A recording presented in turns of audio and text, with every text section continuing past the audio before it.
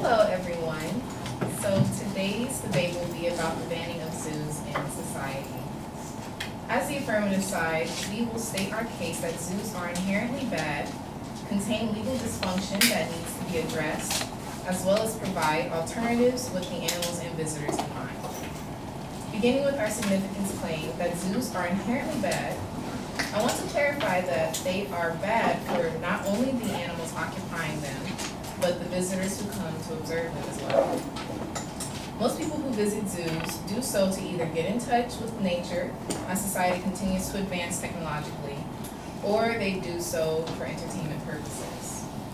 According to the Association of Zoos and Aquariums, 93% of visitors agree that their families enjoy seeing animals up close at zoos and aquariums.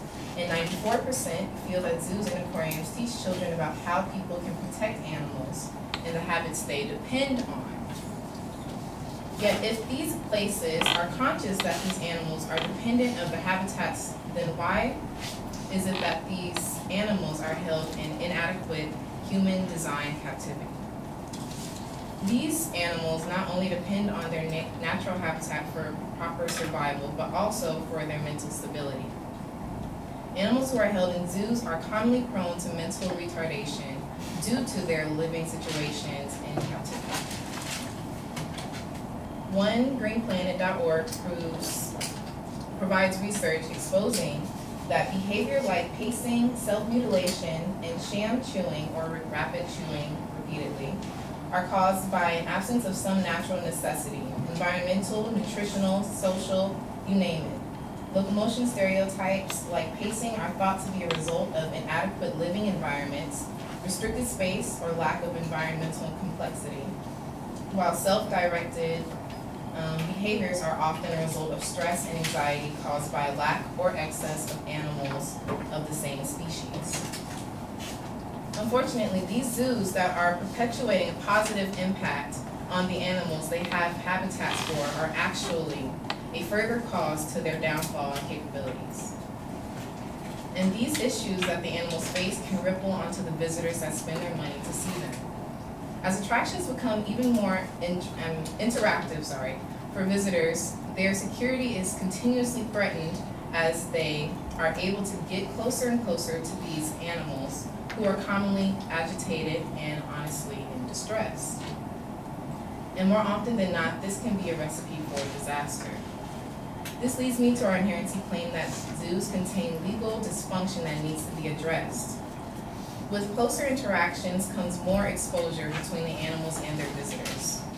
These extensive exposures could lead to health risks like disease spreading, as stated by riskandinsurance.com.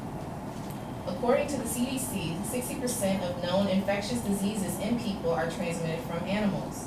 Animals attract, animal attractions can mitigate exposure to this risk by posting highly visible signage to encourage guests to wash their hands after petting the animals and testing their animals for diseases.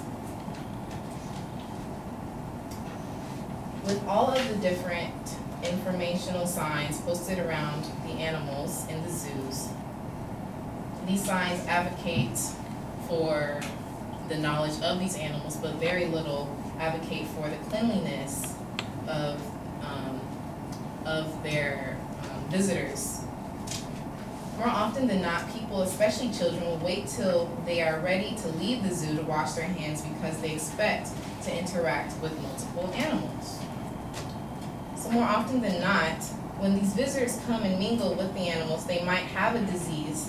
They not only spread it to the people they are with and their property, but also might spread it, spread these diseases to other animals. This can be extremely problematic since it's already, since it's a lot harder to decipher these diseases in animals than people, as animals in zoos have to wait to be tested. This leads me to our solvency claim that action must be taken to replace zoos with more moral and safe alternatives. There are various types of alternatives out there that truly cater to the animals.